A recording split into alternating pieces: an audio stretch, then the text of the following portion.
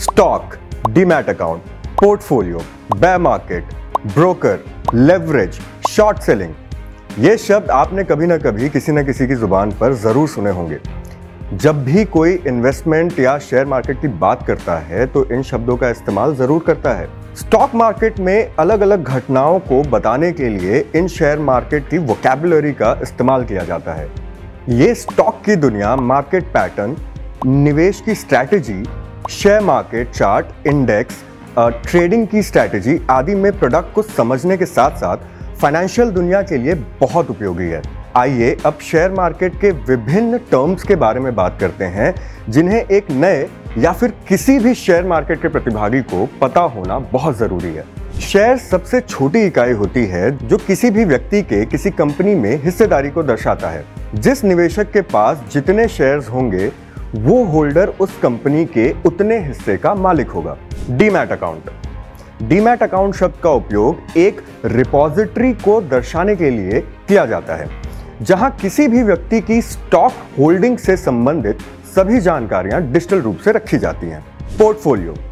एक निवेशक जितना निवेश करता है, उन सभी निवेशों को जहाँ स्टोर करते हैं, उसे ही पोर्टफोलियो कहा जाता है।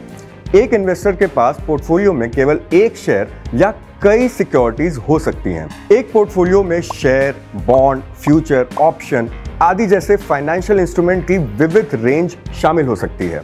Bear market bear market industry से संबंधित एक ऐसा खास शब्द है जो मार्केट की पूरी स्थिति में गिरावट का संकेत देता है। यदि किसी विशेष स्टॉक का स्टॉक मूल्य गिर रहा हो तो उसे बैरिश माना जाता है। बेयर मार्केट आमतौर पर इन्वेस्टर के मार्केट के प्रति निराशा, डर और अर्थव्यवस्था के बारे में नेगेटिव भावनाओं के कारण होता है। बुल मार्केट बुल मार्केट वो सिचुएशन है जिसमें फाइनेंशियल बाज़ार बढ़ रहा है या फिर निकट भविष्य में ऐसा होने की उम्मीद है। बुल वास्तविक दुनिया के बैल से लिया गया है, जिसे आमतौर पर ऊपर की दिशा में हमला करने के लिए जाना जाता है। ब्रोकर ब्रोकर स्टॉक एक्सचेंज और उन इन्वेस्टर या ट्रेड के बीच एक मध्यस्थ है। वह कमीशन के बदले धन और शेयरों के ट्रांसफ़र की सुविधा देते हैं। ब्रोकर एक बिचौलिए होते हैं जो खरीदारों और विक्रेताओं के बीच ट्रेड की सुविधा देते हैं। लेवरेज शेयर मार्केट में लेवरेज का अर्थ है एक से अधिक शेयरों में निवेश करने के लिए पूंजी को उधार लेना। इसका एक ही उद्देश्य होता है मुनाफे को ज़्यादा से ज़्यादा बढ़ाना। लेवरेज का अर्थ यह है कि छोटी इन्वेस्टमेंट को बड़ी इन्वेस्टमेंट में कैसे बदला जाए। शॉर्ट सेलिंग हाल के समय में यह टर्म काफ़ी पॉपुलर हुआ है।